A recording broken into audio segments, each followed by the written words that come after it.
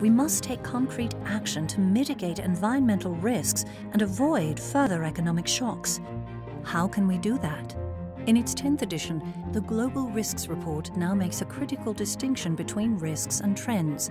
Risks are uncertain predictions. Trends are the current patterns that will either amplify or prevent them. Through their interplay, we can create a blueprint for action. Join the conversation to help address global challenges.